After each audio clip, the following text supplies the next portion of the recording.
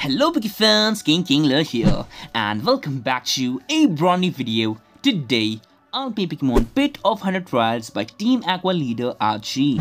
It's a completed Pokemon GBA ROM hack and it's based on Pokemon Emerald where the concept of this game is roguelite which is inspired by Paper Mario Thousand Year Door.